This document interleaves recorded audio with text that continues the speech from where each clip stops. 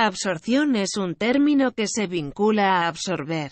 Este verbo puede hacer referencia a distintas cuestiones, al amortiguamiento ejercido por un cuerpo ante una radiación que lo traspasa, a la atracción desarrollada por un sólido sobre un líquido con la intención de que las moléculas de éste logren penetrar en su sustancia, a la capacidad de un tejido o de una célula para recibir una materia que procede de su exterior. La noción de absorción, del latín absorptio, también tiene usos más amplios. Puede tratarse de algo que se consume o se gasta en su totalidad. Por ejemplo, la empresa ya absorbió todo su capital. Este caso absorbe todas mis fuerzas. La absorción también puede ser la acción de atraer. Su discurso absorbió la atención de todos los presentes o aplicada la noción a una empresa, al hecho de adquirir o incorporar a otra. Megachip absorbió las operaciones de su rival Conductronic. En química, la absorción es un proceso que separa los componentes de un gas a partir de la inclusión de un solvente en estado líquido, con el que crea una solución. Para la física, la absorción es una disminución en la intensidad de la radiación que atraviesa un cuerpo. Se conoce como digestión. Por otra parte, al procedimiento de absorción de nutrientes que se lleva a cabo al ingerir alimentos. En el mismo actúan varios tipos de enzimas que separan aquellos elementos que pueden servir para ser transformados en energía y colaborar con el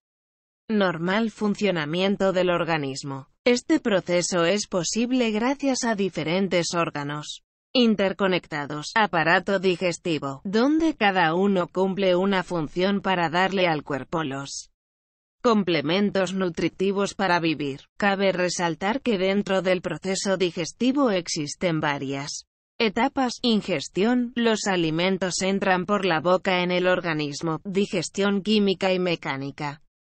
Los alimentos son triturados y unidos a sustancias ácidas segregadas por las glándulas salivales y se convierten en bolo alimenticio para pasar por el resto de los órganos del aparato digestivo.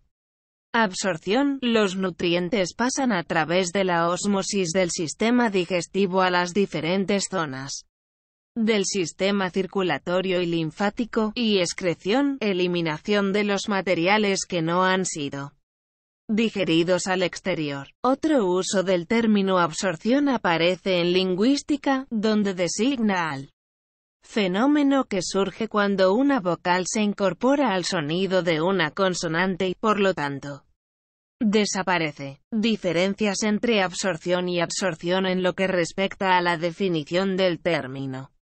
Desde la física, podemos decir que absorción es un proceso en el que determinados elementos, tales como moléculas, átomos o iones pasan de un estado o fase a otro, formando un cuerpo o material con diferentes características. Hace referencia también a la radiación que, pese a carecer de volumen, puede ser absorbida, uniéndose al cuerpo que la atrajo.